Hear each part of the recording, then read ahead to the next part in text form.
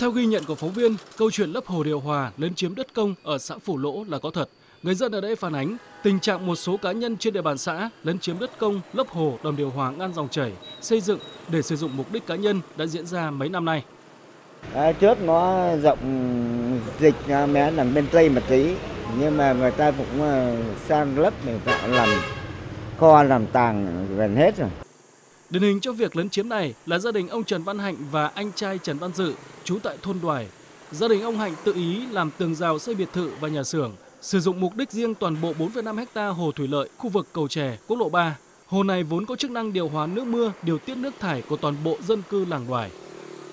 Kiểm tra hồ sơ quản lý thì được biết là các cái vi phạm, à, các cái công trình xây dựng ở trong này là ở trong cái khu vực này là gồm có cả đất của thủy lợi, có một phần của diện tích đất ở và một phần đất nông nghiệp.